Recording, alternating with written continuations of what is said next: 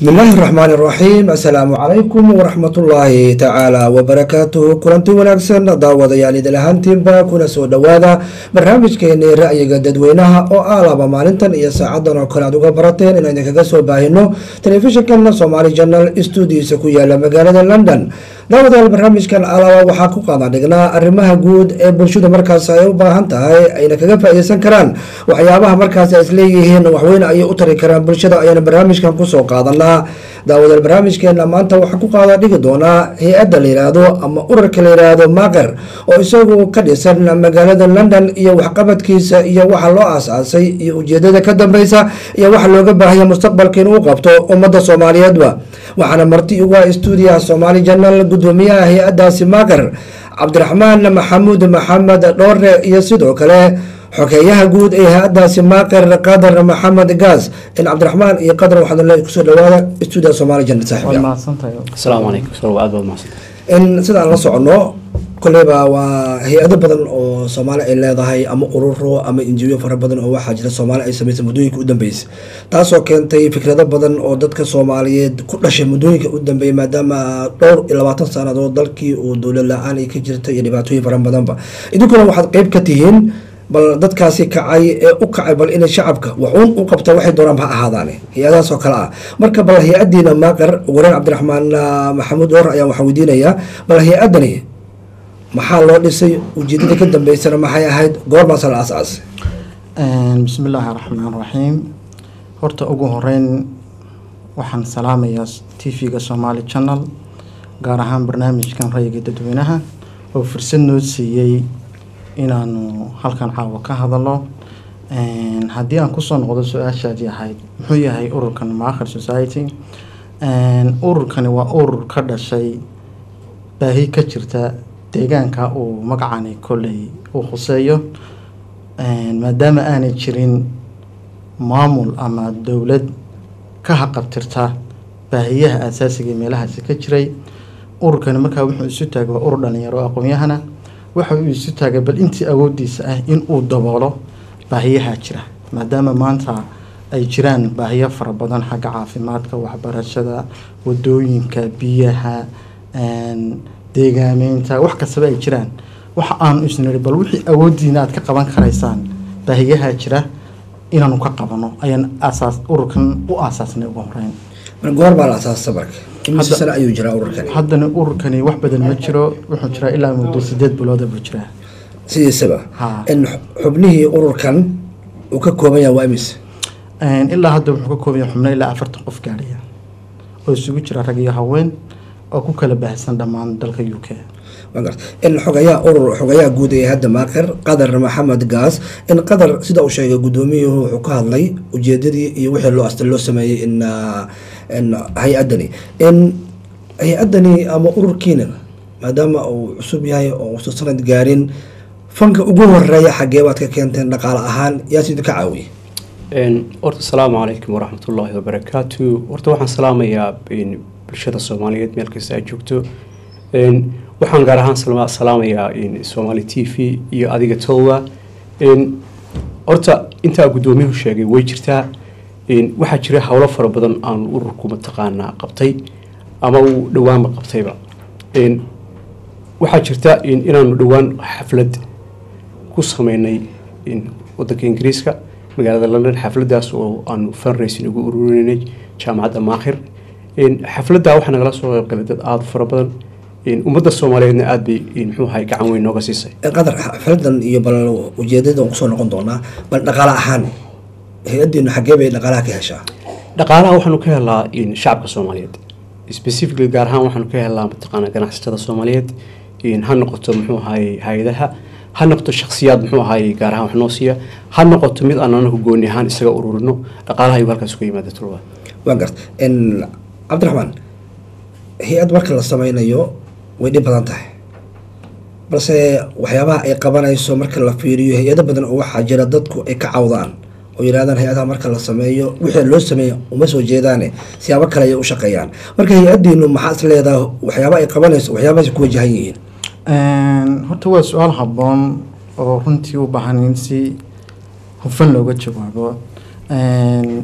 Hay'addani waxyaalahan jecla inaan kaga duwanana kuwa kale waxa weeye waxaana soo gaadhay naga soo gaadha mujtamaca ama shirkada ama ganacsatada noocay doonto ha noqoto ama hay'adaha caalamigaaba in aanu gaadhsiino halkii loogu talagalay. Qofkii inaanu ka qaadno wuxuu noo dhiibay oo aanu tiifiyada iyo webseedadaba ka soo saarno meeshii ay gaadheen. Si loo ogaado wixii dadku noo dhiibay meeshii inay gaadhay taasaanu jeclay inaanu kaga duwanaano hay'adaha kale. Tusaale ahaan wixii hadda dhaqaalaanu hayno akoon baan u furnay. Akoonkaan u furnay waxaan uga sameynaynaa amal express. Wixii lagu daro iyo wixii dad kale ku daraanba iyo meesha ay ku baxaysaba waxaanu jeclahay inaanu soo bandhigno halkii ay gaadhay hay'adda marka la sameeyey kolley waxbaad qabateen bilan waa samaysteen. Hay'ad kastana kolley marka la sameynaya waxbay ku wajahan tahay. Marka hay'addiina xaggee bay culeyska saari doontaa.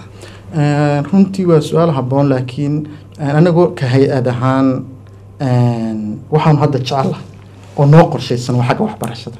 Way jiraan baahiyo badan caafimaadkii wadooyinkii biyihii in laga hortago in deegaanka la xaalufiyo laakiin bal waxa aan isnidhi meesha ugu habboon ee dadkan laga taarget garayn karaa siday u joojiyaan dhibaatooyinka waa aqoon la'aanta. Marka waxaanu iminka taargetkaygu yahay dhinaca waxbarashada.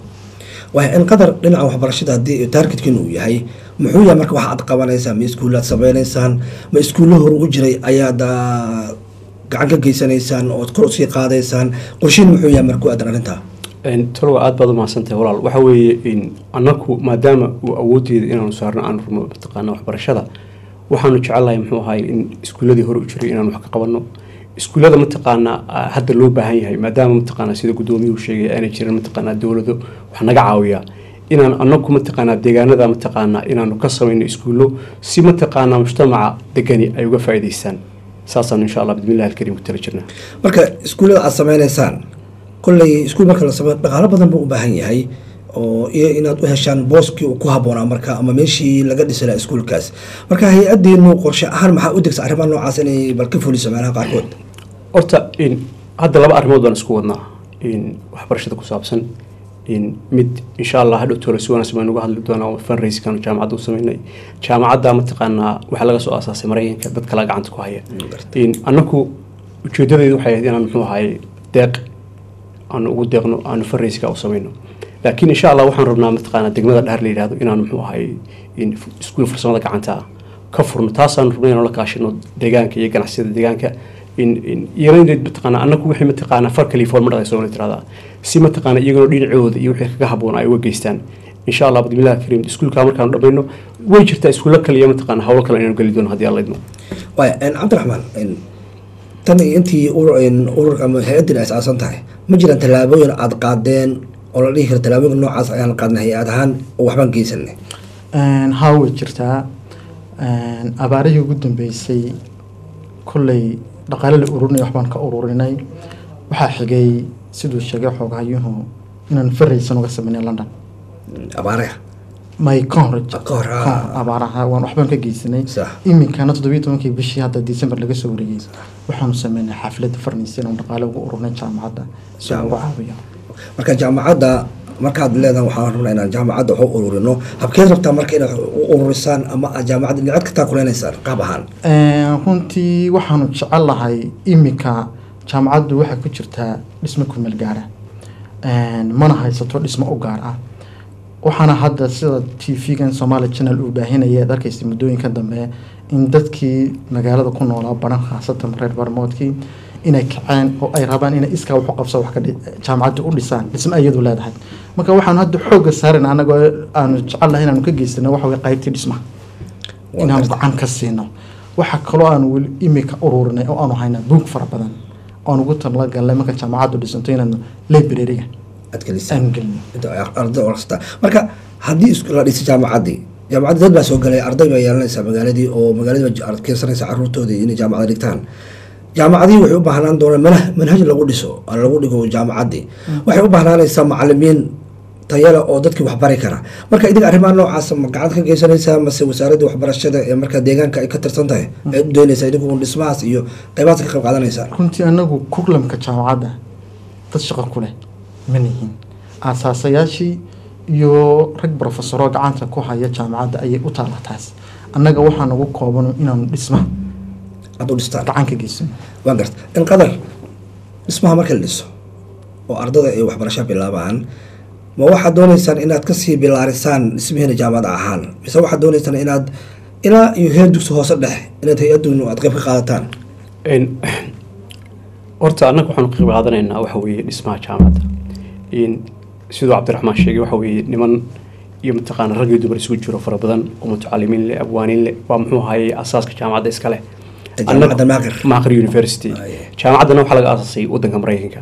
Dadkii in mataqaanaa maraykanka joogana way jiraan ee jaamacaddan anagu mataqaanaa dad ka hadli kara mataqaanaa specifically jaamacadda wixii laga sameyn lahaa mataqaanaa curriculumkeeda iyo ujeedadeedii. Ma nihin laakiin anagu maadaama dadkaas iyo deegaanka ah ee mataqaanaa rag iyo dumarba leh mahad allah siiye ay damceen inay mataqaanaa jaamacadda wadanka ka sameeyaan. Anagu asawir ahaan waxaanu garanay in muxuu ahaye bal horta dhismaha la dhisayo maadaama sida jaamacaddu mataqaana cabdiraxmaan sheegay ay ku jirto mataqaana meel ah in loo helo dhismo wanaagsan oo mataqaanaa faculty fara badan leh. In intaanu ka geysan karno baan anu ka geysanaynaa. Farrinsiga aad u qabateen jaamacaddani ma ku guuleysateen oo waxyaabo wanaagsan ma uga soo baxeen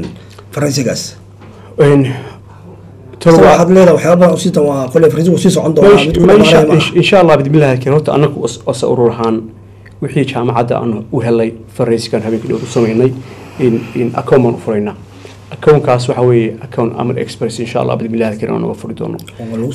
Oo lagu soo hagaajin doono. Waxa la wixii mataqaanaa in in in in lacag ah aan ururay iyo wixii mataqaanaa ummadda soomaaliyeed. Meel kasta ha joogtay ay mataqaanaa ka- kaga qayb qaadanayso.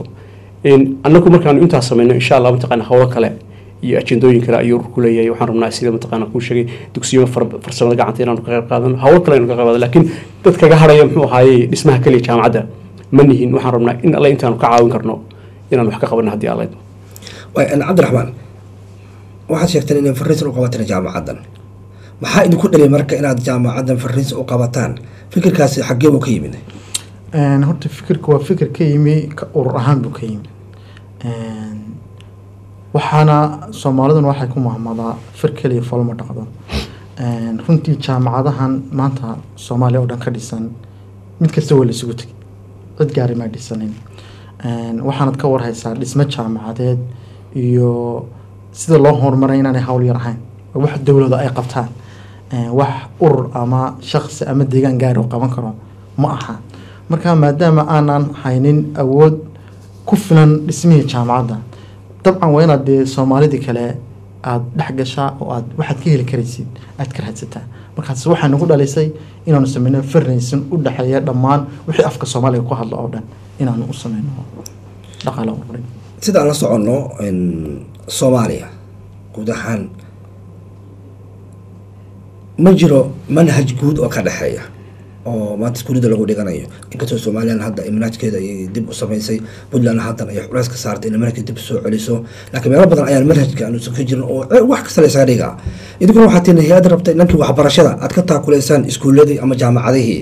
Marka fikir intee la eg ah ayaad ka gudbin kartaa arrimaha noocaas oo kale ah. Runtii ka urur ahaan waxaanu leenahay qeyb noo qaabilsan manaahijtiya waxa. Een, iminkana dee kolle ka hor dhici maayo maadaama jaamacadda hadda ay qola gacanta ku hayso iyagay u taallaan. Een, waxa kale aanu hadda sameyna waa collegku sheega xoogayaha guud waa college farsamada gacanta ah. Isaga laftiisa hadda ilaa hadda waxaan ku jirnaa magaalada dhahar.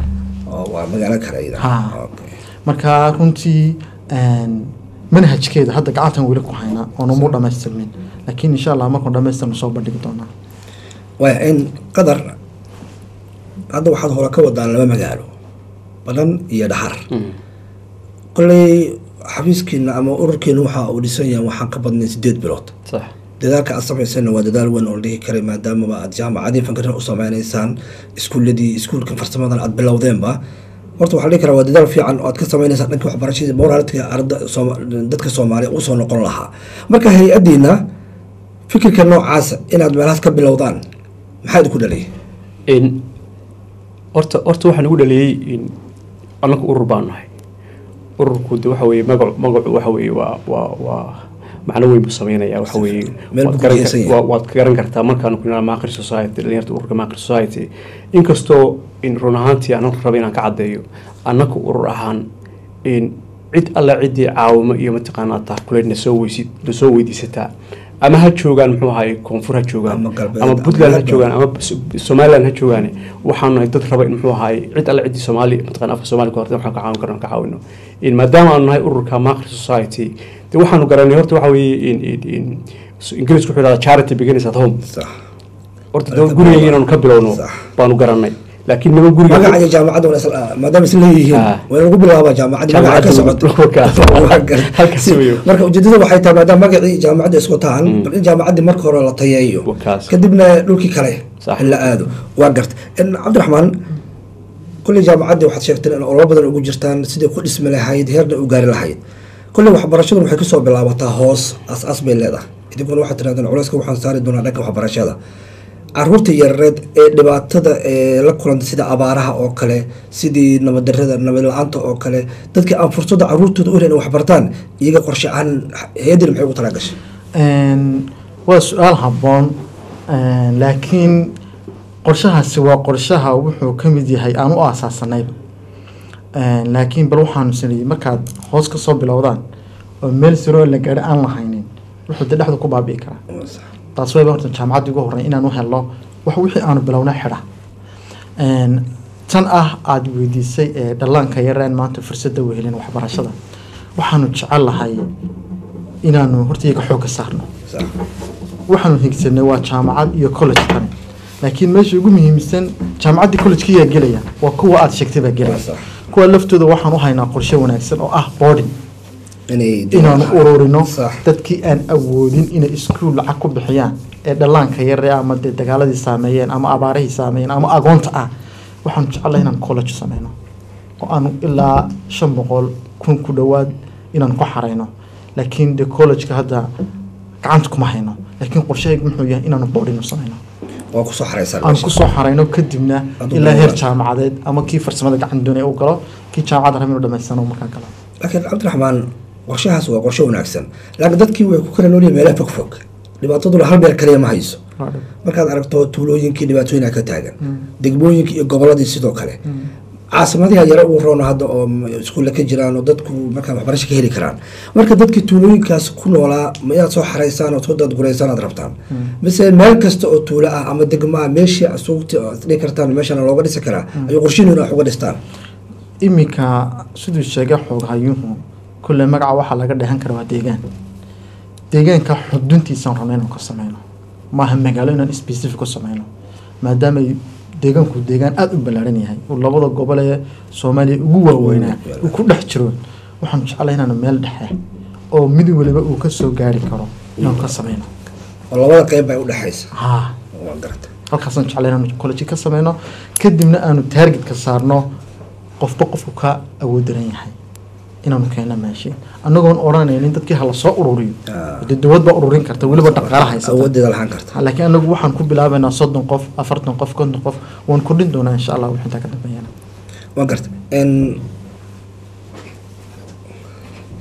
waxaan mar dhow rajeynaynaa in insha allah inaan bal in yar aan daawano bal kelib ku ku aadan fariinsiga aad u samayseen jaamacadda maaqir aad ku qabateen magaalada london in yar ayaan siin doonaa fursadaas dadka inaan bal tusno bal waxqabadkeena iyo xafladii aad degteen iyo fundraisingkii halkaas iyo dadka ka soo qayb galaba balse su'aal ayaan rabaa markale aan idin weydiyo intaan u gudbin bal kilibkan inaan idin tuso in waxaa ka soo qayb galaa tirahdeen dad badan oo ka yimiday qaaradaha yurub maraykanka iyo waxyaaba badan. Dadka marka idinkaa casuumay mise idinka iyaga ayaa idin yimid oo sidaa idi- idinla yimiday in bal casuumada noocaan barnaamijka noocan oo kale ah kala qayb galaan. Annaga casuunay waxaanu ahaa oo ka mid ahaa abwaanka weyn ama aqoon-yahanka ama profesorka siciid saalax baa ka mid ahaa. Waxaa ka mid ahaa nin injineer oo ah aasaasihii jaamacadda la yihahdo cabdilaahi maxamed xasan waxaa ka mid ahaa oday isaguna korneyl ahaa oo ciidankii booliskii soomaaliya ka ka mid ahaa oo la yidhaahdo korneyl maxamed cabdiqaac marka annagaa casuunay oo ugu talagalay wacyigelin ahaan Inay kala soo qayb galaan waa mahadsantihiin markana bal qadar yar oo kilibkii ku aadanaa bal xafladda aad samayseen in yar bal aan daawano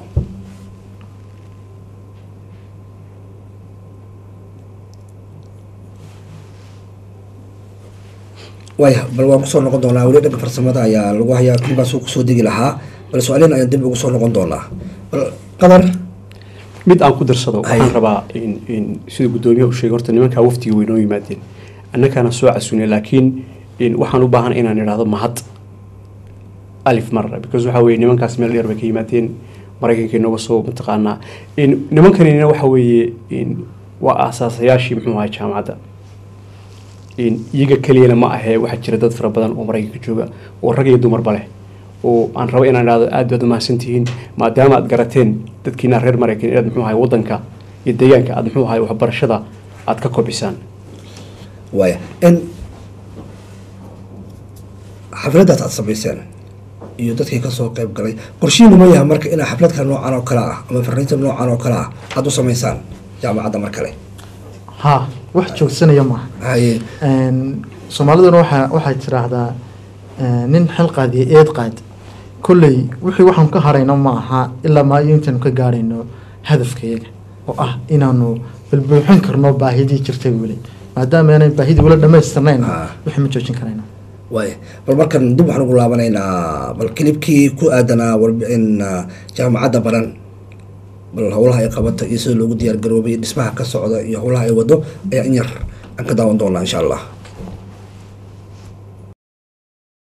Sadaaqada badisaa xulaaye waa baraako aakhira lagu baadbadaaye birijkii ku yiil jahanaba lagaga bodaaye balaayooyinkuugu soo socdaa bal laga marine habba khaylinina sadaaqada lagu badbadaaye baahidaa dhulkii taalla waa inaan boogsinaye bildin quruxsan oo jaamacada badhankaanaaye sida aad ka aragtaan muuqaalkan xafladdii shalay galab ka dhacday hoolka ama xarunta weyn ee jaamacadda makhri university ee magaalada baran xafladdaasoo ku saabsanayd in dhaqaale loo ururiyo lagu dhiso jaamacadda ayaa barnaamijka kani uu ka mid yahay waa qaybtiisii labaad.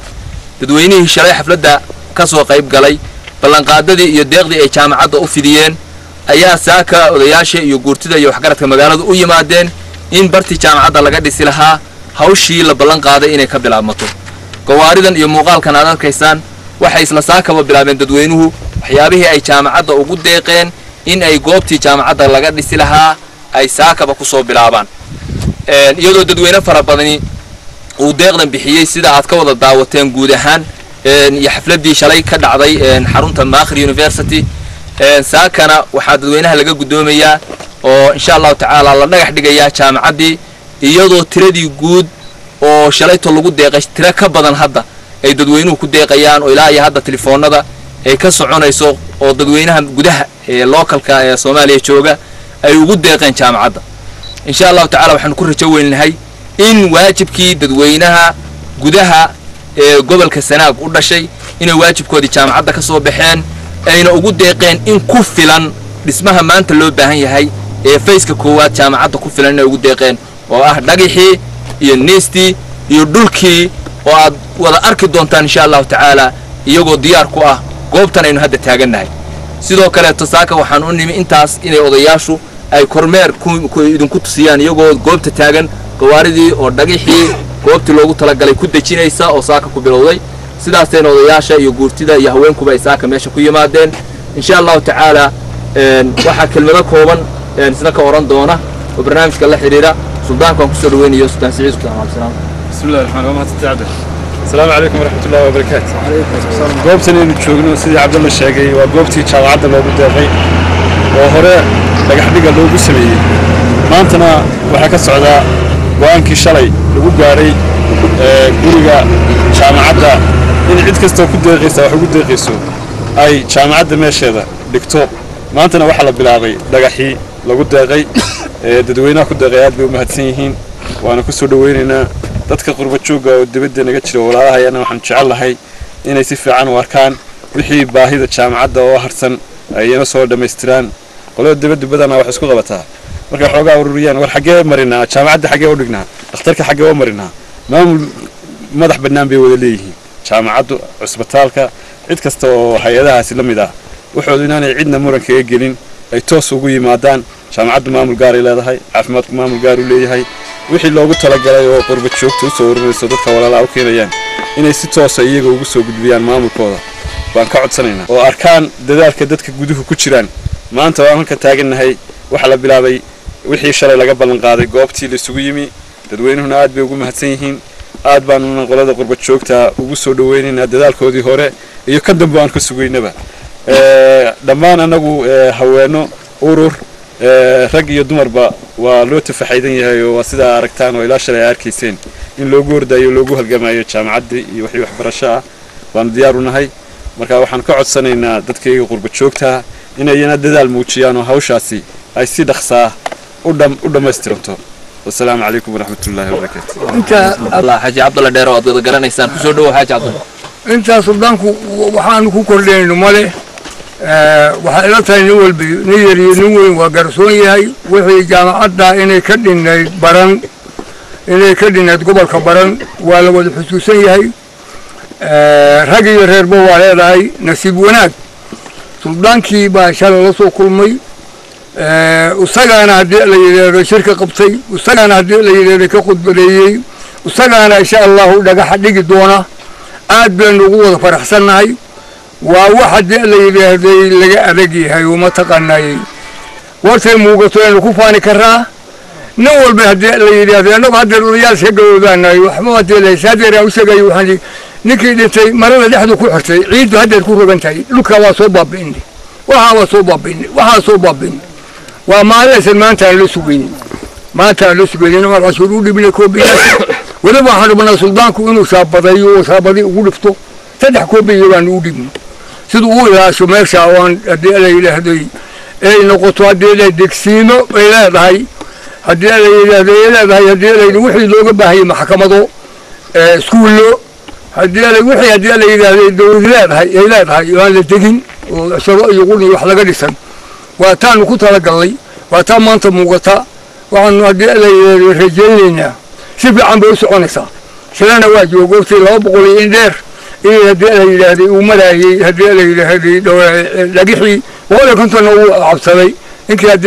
hadlaayey marka laba boqol saddex boqol wax ka badan bay noqonaysaa ragna waa u maqan yahay yurub waa la jiraa meel kasta waa la jiraa. Baacbasari bay leedahay yaalla kan haddii la yidhaahdo awood leh. Waxaanu haddii la rajaynaynaa inaynu muujino qafirna u samayno ninkii meesha jindheerka oo samayn ninkii samayn lahaa oo xoolaha gacanta ku dhigi lahaa.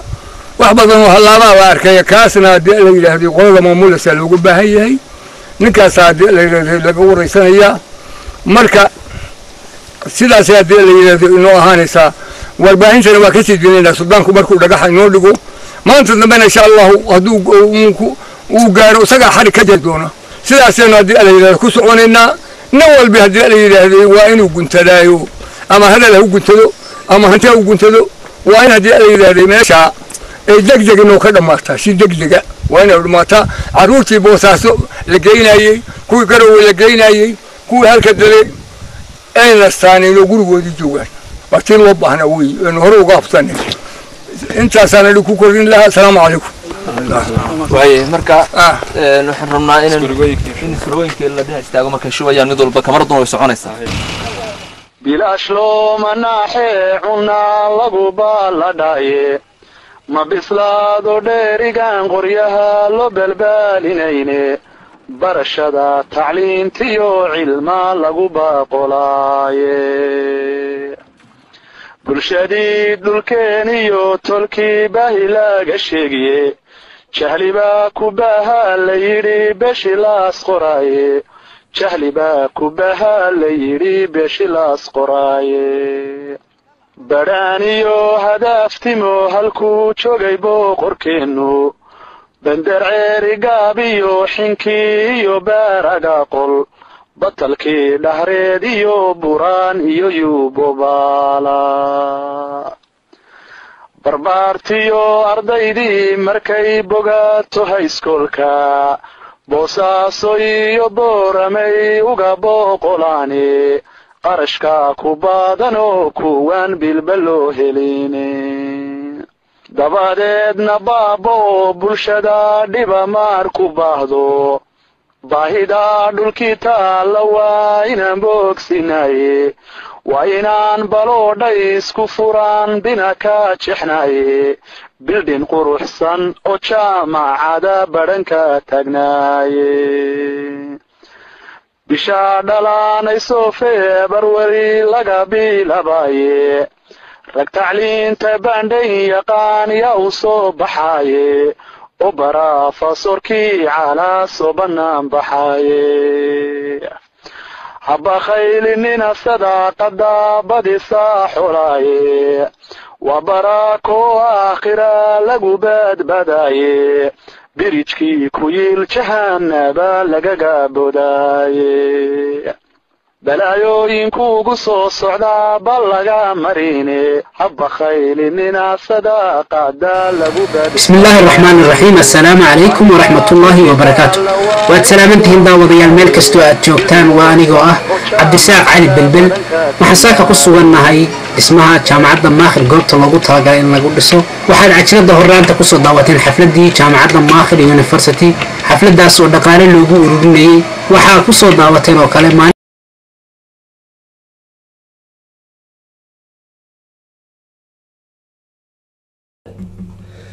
waayahay kilibkaasi waxa uu ahaa warbixina ku saabsan jaamacadda badhan oo noola kaga soo diray magaalada badhan aada bay u mahadsan yihiin. Waxaan filayaa waad aragteen kolley warbixintii ku saabsan jaamacadda iyo howlaha aada wadeen waxqabadkeeda iyo bilowgeediiba waxaad ka daawateen kilibka aad ku daawateen.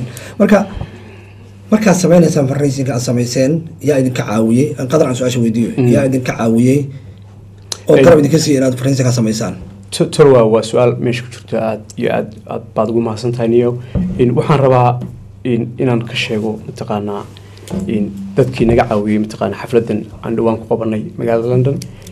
Horta waxaan rabaa inaan uga mahadnaqo soomaalida. Dad badan oo af soomaaliga ku hadla oo wadanka jooga oo mataqaanaa si wanaagsan xafladaas noogala soo qeyb galay. Ha ahaato mataqaanaa caawimo fikrad ha ahaato mataqaanaa imaansha ha ahaato farayska lacagta inay nala bixiyaan laakiin horta kow waxaan rabaa inaan gaar ahaan u mahadnaqo ururka maakri society oo iyagu mataqaana iyaga la'aantood aynu xafladani suurtagal geli lahayn. Marka waxa weye membersku isgaranayaan marka waxa weye dhalinyaro aad baad u mahadsantihiin wiili wiilii gabadhba waxaa gacan aada iyo aada weyn naga siiyey xafladda in amal express. Amal express jasaakallah waxa weye aad bay nooga caawiyeen aada iyo aad bay u mahadsan yihiin waxaa kaloo xafladda naga caawiyey in allahuma istacaan in horn of africa community group oo iyaguna gacan naga siiyey waxaa kaloo aada nooga caawiyey aqoon-yahano iyo fanaaniin fara badan oo soomaali ah. Nagala soo qeyb galay. Iyaguna way isgaranayaan cidday yihiin. Aada iyo aad baan idinku mahadnaqaynaa maadaama nahay ururka maakhir society. Cabdiraxmaan ma jirtaa dugsiga farsamada aad ka sameynaysaan dhaxar? Cid gacan idinka siinaysa ama idin ballan qaad inay gacan idinka siiso haa way jiraan shirkado ganacsi baa jira iyo dad ganacsata oo shaksi ah oo kulley wax noo yaro binixiyey qofkuna markaad tiraahdo wax sii waxba iska kaasiin ma ilaa wax kaa uu wax kaa arko. Ka arko. Marka anagu dadkii aan wax u bandhignay waxbaan u bandhignay ballanqaad bay noo sameeyeen. Ilaa annagana laga arko inaan wixii bilownay oo anigu aanu ka geysanay jeebkeyga marka hore inaan jeebkeyga lacagta ka soo saarnay. Oo wixii college-kii aan ku fulinaa markana la arko dadkii ballanqaadka noo sameeyey way ku soo darsanayaan waanu haysanaa ballanqaad aada wanaagsan oo hadda waxaad leedahay marka ballanqaad fiican una haysanaa alxamdulilah ha waayahay marka kolley mar dhow insha allah qadka telefoonka ayaan waxaan furi doonaa daawadayaasha balse ayagana fikir uga dhiibtaan. Qorshahan aada wadaan iyo sidan haatan jaamacadda aad ka dhisaysaan maxaa la yihahdaa badhan oo iyaduna haatan dadku ay u diyaar garoobeen oo maakir oo dadku ay sugayaan bal hadday dhammaata ciddii markaa ka faa'iidaysanay fursadahaas. Bal dadku sida ay uh, fikirka ka qabaan iyo dadaalka aad sameynaysaan iyo waxa looga baahan yahay. Bulshada noociin oo kale iyaduna in tallaabo noocan oo kale ay qaadaan sida loogu baahan yahay bal mar qadar yar kadib ayaan daawadayaasha siin doonaa fursadaas. Balse qadar ayaan bal su'aan rabaa inaan weydiiyo in qadar waxa waad soo sheegteen dadaalkiina iyo waxqabadkiina iyo ujeedooyinkiina waad ka hadasheen.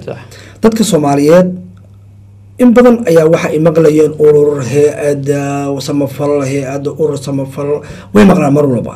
Haddana waxay yidhaahdaan wax ay hay'aduhu ay qabtaan maba haynaba oo magaceena waan maqnaa laakiin waxay qabtaan ma aragno marka idinkuna waxaad ka mid tihiin hay'aduna waa hay'ad samafala oo waxaad qabanaysaan waxbaad dhisaysaan dad wax u qabanaysaan marka fikirka noocaas ah sidee baad bulshada soomaaliyeed? Aad ugu bedeli kartaa inay si kale u fahmin. Ho- horta mid baan rabaa talwaa inaan mataqaanaa waad ogtahay in ummadda soomaaliyeed dhammaantood way wada ogtahay in hay'adahan aad aragto ama ururadan mataqaanaa banaanada ka imanaya ciddan ku wadaa ma jirto iyagu dantooday wataan in lacagayooga mataqaanaa united nation ku bixiyo mataqaanaa in n mataqaanaa meel walba wadanka ha ahaatee ama somaliland ha ahaato ama puntland ha ahaato ama mataqaanaa koonfurta ha ahaatee. Waxa weeye ninety percent lacagta united ugu talagalay dadka ma gaadho. Ten percent kana nairobi baa lagu kala qaybsadaa. Anaku ma rabno in mataqaanaa dhibaato dadka heerka leg baa gaadha. Anaku ma rabno inaan samayno. Anaku taanu keenayno waa mid horta anaku jabadeedan ka bixinayno weye ase urur saan mataqaanaa bulsho weynta aan u cadeeyey waxa weeye anaku anakaa jabadeeda ka bixinayna. Hadda xafladaanu samaynay cid mataqaanaa gacanhana la siiyo. Laakiin majoritygeeda iyo mataqaanaa organizekeeda iyo lacagtii ku baxday annaka as urur anagaa jabada ka bixinay. Insha allah bismillahi alkariim waxay iyaguna transparent bay noqonayaan insha allah. Marka dadku ku arkaan inaad waxqabad u diyaar u tahay haba minimum ha ahaato haba yaraato. Waxa weeye insha allah bismillahi alkariim waxaan rajeynaynaa mataqaanaa dadku in mataqaanaa ay caawimana siin doonaan. Qadar dad baa aaminsan hadda waxaad sheegtay inaad jeebkiina aad dhaqaalaha ka bixisaan. Dad baa aaminsan haddii aad saa ku sii socotaan in hay'ado kale ay siin karaan fan fara badan oo aad holini ku sii fulisaan. Marka waxaa is aaminsan yahay kolley fankaas la siin doono ayaa waxay noqon doonaan. Kusoo noqon doonaa su'aashaas. Halo? Qadka telefonka ku laaban doonaa insha allah halo? Halo? Halo waya ka sii socon doonaa su'aashana si wado halo halo assalaamu calaykum assalaamu calaykum calaykum salaam magacaaga walaali halkaa joogto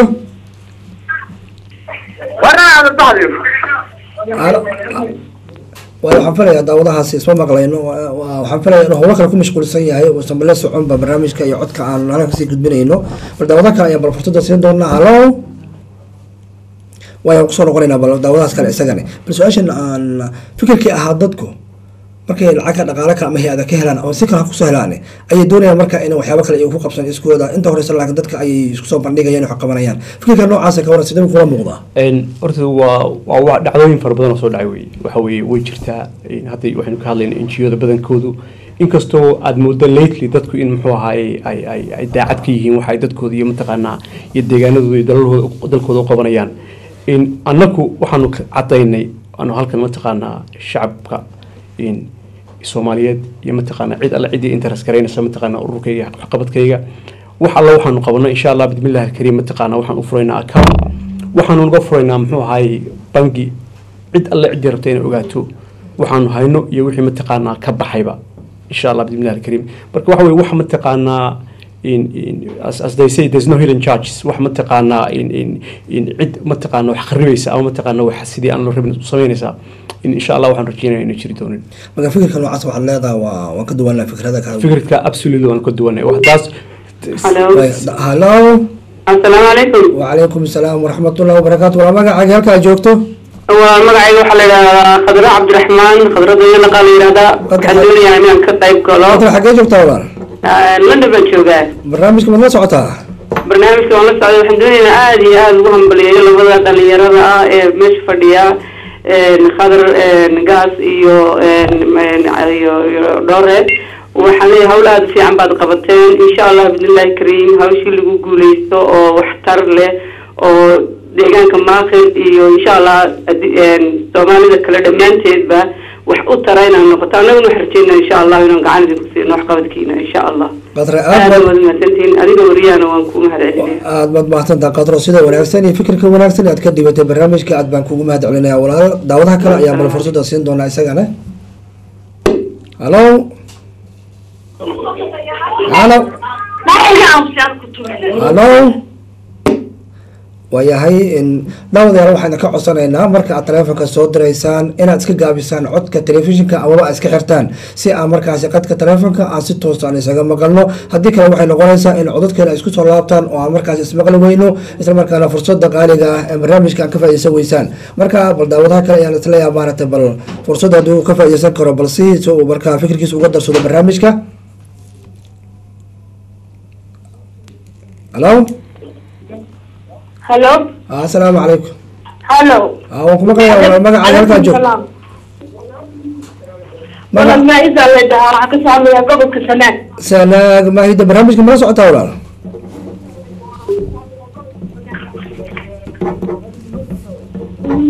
wallahi intii hore lama socon marka adoo raali telefishinka codkiisa iska xir ha nagala socon ee qadka taleefonka nagala soco maxaad ku darsan lahayd intii aad ka soo gaartay barnaamijka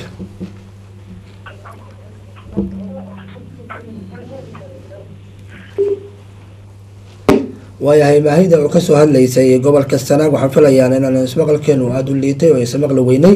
Bal daawadaha kale ayaan bal isna siin doonaa si uu barnaamijka fikirkiisa ama taladiisa ugu darsado. Markaa hallo waayahay bal daawadayaasha waa waxay doonayaan inay fikro badan dhiibtaan oo ay markaa maaragt bal waan ku soo noqonaya daawadayaasha bal waxay fikir ka dhiiban doonaan bal su'aasha aan rabo inaan weydiiyo gudoomiye cabdiraxmaan in maxaad ugu baaqaysaa bulshada soomaaliyeed ee maanta ku daawanaysa horta bulshada waxaan ugu baaqayaa maantana daawanaysa meel kastay joogaanba. Horta ugu horeyn horta waxaa la isu dardarma waxaa ugu wanaagsan cabsida ilaahay. Haddii aan taa ka gudbo waynu ognahay dhibaatada maanta ina haysataa ka qurba ahaan iyo ka wadan ahaanba.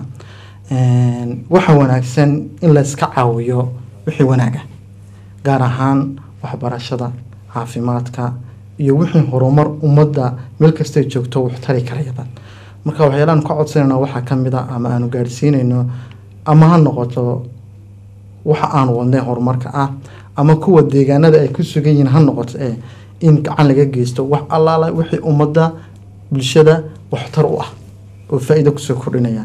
In gacan laga siiyo oo aan loo arkin in dan laga leeyahay ama siyaasad. Laakiin waa in gacan laga geysto qof kastaba wixii wanaag wado inuu ku caawiyo waayo inagu waxaan haddii goor caado u leenahay haddii qof wanaag wado inuu midis yidhaahdo yaani wixii hor horumarina ku xume. Waana ta ina reebtay oo ummadaha kale adduunka naga reebtay. Adduunyada waad arkaysa qofba intuu soo baxa buu oranaya waxaan alifay in dadka dhagaale la caawiyo oo kale. Dad fara badan baa markiiba taa kula siinaya. Laakiin la oran maayo dadka dhagaale xaggay ku nool yihiin. Marka waxaan rabaa insha allahu inaan idhaahdo waa cid kastoo wanaag wada gacan ha la siiyo la odhanin maxay yihiin waxaan? For example jaamacaddan aan faraysinka u sameyno anagu maanaan aasaasin. Fikirku wuxuu ka yimid maraykan iyagaana iyagaana fikirka lahaa aasaasayna anuguna markii aanu maqalnay waanu ku faraxno dhinacaygu maanu kala qabsanay. Maanaan oo dhaxa u ka yimid fikirkan dhinaca ka qaban kartaan. Ha markaa shacabka waxaan leeyahay wax kastoo horumar ah oo dadku raba inay wax ka qabsadaan inay dhinacooda ka qabtaan. Qadar taasaan rabaa inaan mid ku darsado waxa weye mataqaanaa annaku siduu cabdiraxmaan sheegay intaasba waa jirta laakiin mid kalena way jirta aan rabnaa inaan ku xaqiijino. Annaku annaku howlahan fara badan wadnaa. Oo mataqaanaa in in nagu filan mataqaanaa isxaankayga saaran tahay. Saasoo haddana mataqaanaa haddii cid alla ciddii naga rabteen caawimo iyo taakulo in in soomaaliyu meel alla meelay joogtaba diyaar baan u nahay. Waayo su'aalaan guddinaya waxay tahay waxaa tii idinku qurba dadka qurba joogta ah maxaad ugu baaqi lahayd qurba joogtu dee waaba horta qurba joogtu waa kuwa wadan ku nool yahay weye in qurba joogtu haddayna mataqaanaa iskuuladooda mataqaanaa ayna shidin haddii mataqaanaa ayna business geynin haddii ayna dadka biilin in in soomaali meel kastoo joogto maanta way baabi'i lahayd qurba joogtu waxa weye waxay hayaan cid haysaaba ma jirto. Wayna ogyihiin dhibaatada ayna haysta iyo waxa meesha ayna keenay. Waxaana rabaa in dib loo eego ama loo fiiriyo dhibaatada maanta mataqaanaa soomaali weyn meel walba joogtay jirtaa? May jiri lahayn qofku hadduu mataqaanaa waxbarashada dadku aada ugu dadaali marka waxaan leenahay wadan baynu ka nimi baaxad leh dad fara badan oo dhibaato samaynu ka nimi dadkeennii intii siyaasad la geli lahaa waxbarasho iyo caafimaad saad awal mataqana halkaba uga shaqaysaan uga shaqeeya iska taakuleeya in haddaad tihiin qurba joogtana aad baa laydinku baahan yahay mataqaanaa xubintiina ka qaata waaya kolley waxaan taaganaha qalaya gabagabadii kolley daawadayaashana qadka ayay ku soo wada jiraan bal waana soo gabagabanina barnaamijka haddii allah wadu la ogolaado. Su'aasha ugu dambeysa aan ku soo gabagabinina waxay tahay cabdiraxmaan kolley barnaamijku barnaamij maanta ku eg ma ahan doono hadduu allah wadu la ogolaado. Waa barnaamij aan ka dhigi doono insha allah bal fursado kale aan siin doono inaad sidoo kale waxqabadkiina aad ku soo bandhigi doontaan iyo sida dadka u arki doonaan iyo dadaalkiina sida uu yahay aad dadka ku tusi doontaan. Marka howlaha noocan oo kale ah. In la sameeya way fududaha waa dadkuna way jecelyihin in la sameeyo. Balse dadku afka way ka taageeraan laakiin gacanta ayaa loo baahan yahay iyo ficilka in lala yimaado. Dadka maxaad ugu baaqi lahayd marka? Horta wax kastaba barashay u baahan yihiin. Ilmaha yar marka uu dhasho waxa ugu horeeyuu raaraadiyo waa inuu naaska hooyadii afka la galo kadibna waxaa la baraa. Siduu aab uu odhan lahaa ama hooyo odhan lahaa. Wax kastaa barbaarin bay u baahan yihiin tan gacanta dadku waa run oo gacantoodu ma furna laakiin barashay u baahan yihiin in la baro loo samro. Maaha in la yidhaha keena un dadku waxay u baahan yihiin wixii la baro. Waxaana taa ay ku bixin karayaan. Marka wixii qofkii loo dhiiba uu gaadhsiiyo halkii loogu talagalay. Qofku intii in ka badanba uu bixinayaan. Waana wax ka mid a waxyaalaha dadka ay ku dhiiranayaan. Haddaan u soo noqdo waxaan uu dadka ugu baaqi lahaa. Wax dhiibta horta waxaan la dhiibanayo if iyo aakhiraba waxay ku leeyihiin ajar. Aakhirana way ajar baa looga dhigayaa. Ifkana dadkoodii baahnaa bay gaadhaysaan marka waxaan ugu baaqi lahaa inaanay ka caajisan waxbixiska haddiise ay arkaan dad meeshii gaarsiin kari waayey mid kaloo isla gaarsii yaanay ka hor istaagin. Waa in mar walba lagu dhiirada waxbixiska waayo gacanta haddaad imika eegtid dadkan eeshiyaanka oo kale asia waxay ku horumartay waa waa communitygooda. Wuxuu bixiyo. Ayay maanta ku horumareen oo ay maanta dhaqaalihi adduunka ay sanka ku haystaan. Marka haddii aynu wax bixino oo dadkeena hadduu midi uu lunsado oo aynan caajisin oo ka kale gaarsiinayo loo dhiibo waxaa laga yaabaa baahi fara badan oo wadankeena joogtay inay dabooli lahayd. Marka waxaan ku dhiirin la gelin lahaa caajisina wax bixiya. Way adina ugu dambeynta ugu dambeyntii waxaan odhanayaa nin loo socdo waa seexan.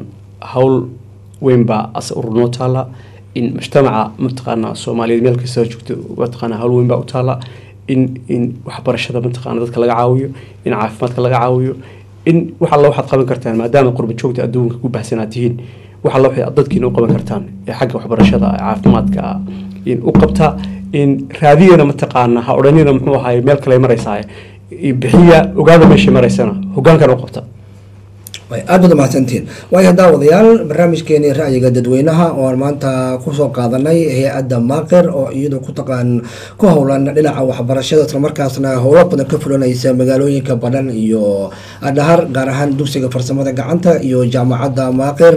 Ayaan maanta daawadayaal barnaamijkeena ku soo qaadanay. Waxaan stuudiya marti igu ahaa gudoomiyaha hay'addaasi la yiraahdo maaqir cabdiraxmaan maxamuud maxamed dhoore iyo sidoo kale xogeyaha guud ee hay'addaasi maaqir qadar maxamed gaas aad baad umahadsantihiin waqtigiina qaaliga iyo fursadna qaaliga aad nasiiseen aad baad aad baad umahadsantihiin soomaali channel aad baan ugu mahadinaynaa waayahay. Waayo daawadayaal barnaamijkeeni intaas aynu ku soo gabagabeynaynaa anigoo tulwaaya halkan idinkaga soo daadaheynayay dhanka farsamadana waxaynu leeyahay farsamaqaanadeena intaan barnaamijkan barnaamij la mid ah haddii allah ogolaado toddobaadkan soo socdaana mar kale ku kulmi doono. Waxaan idin leeyahay wasalaamu calaykum waraxmatullaahi tacaala wabarakaatuh